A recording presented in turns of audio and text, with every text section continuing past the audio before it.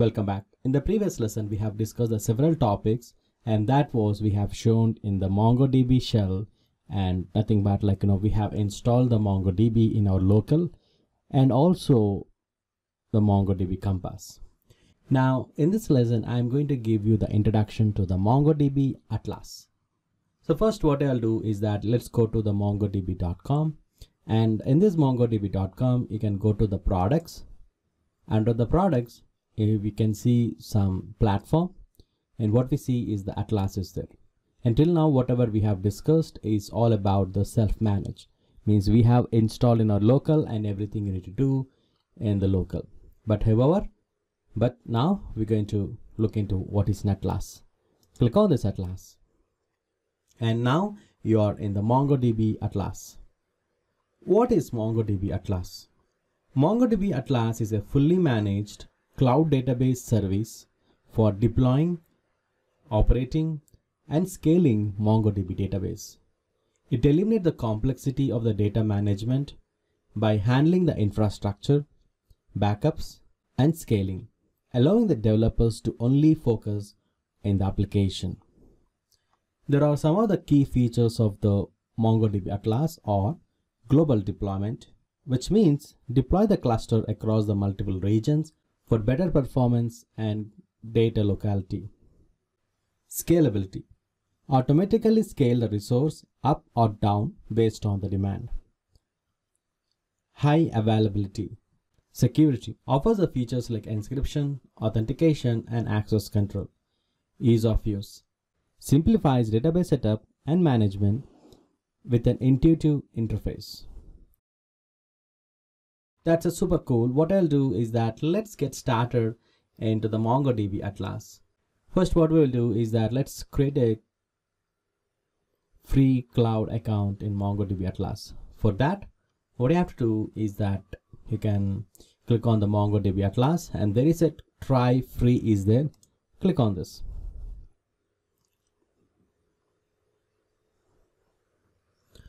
now you can set up for the free. So just fill all the details like first name last name company email and password and then create your account in atlas.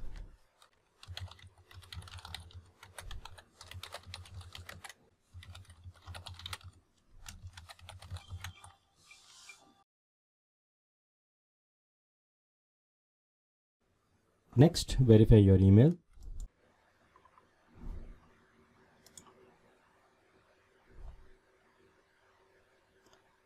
Once your email is verified, click on continue.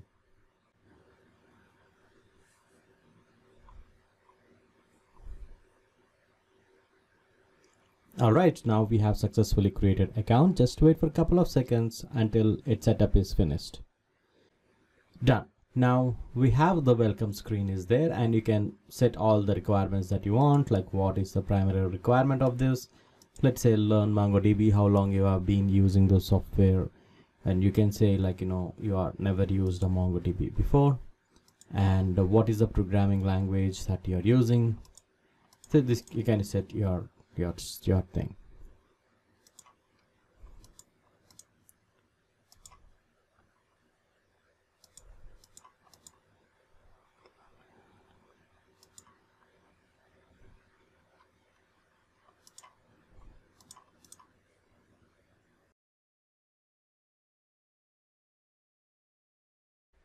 now you can see the cluster options is there like m10 which is the 0.08 per hour serverless which is 0.10 per 1 million reads. Or you can also take the one m0 which is a free where you have the 512 MB storage shared RAM and uh, it is running under the shared CPU I mean for the sake of the learning purpose this is free forever and we can simply use this. And then you can simply scroll down and see the configuration and you can set whatever the configuration you want. Let me name the cluster as data science. Anyway now I can set the provider. It's up to you like you know what type of provider you want AWS Google Cloud or Azure and which is fine. And just choose the region which is very closest to you.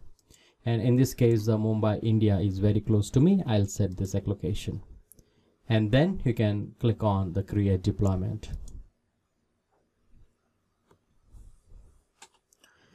and wait for a couple of seconds. Oh it's very quick and here you can see uh, connect to the data science anywhere and it is as it is giving you the username and password.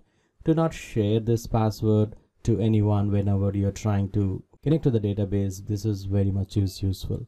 So what you do is let's copy this and paste it in somewhere which is very safe for you. And then you can simply close it. And done so with this you have successfully configured the atlas and everything is running. So all you need to do is that under database section you can see cluster. And once you see this cluster and uh, then you are seeing like another cluster is created. You can see a message like a cluster is being created. Just wait for a couple of seconds and once it is done you can see once it is done and you can see the nice UI dashboard of the Atlas DB that we can use it. All right, we have successfully created the cluster and the MongoDB Atlas. Now let's see how we can connect to this cluster. So all you need to do is that under database, you need to click on this cluster and then you can basically you can see there is a browse collection is there. Under the browse collection, click on this browse collection. Wait for a couple of seconds and done. And we have some sample data which is already there with us, something like uh, embedded movies, movie, session, theater, and users. So there are few records that was already there under this. Pause the video and check what exactly you are noticing in the MongoDB Atlas. Exactly, this is exactly looks like the MongoDB Compass. What are the Compass that you are actually worked till now and this is the cloud or web-based version of the Compass. And here you can see on the left hand side, you can see some list of collections. So here we have the movies, sessions, theaters and etc. which is already there. And if you click on this movies and then here you can see there is a find is there and under the find we can actually provide do some kind of queries and uh, we can expand this options. And here we, we can see some field and sort operator is also there and collect is also there.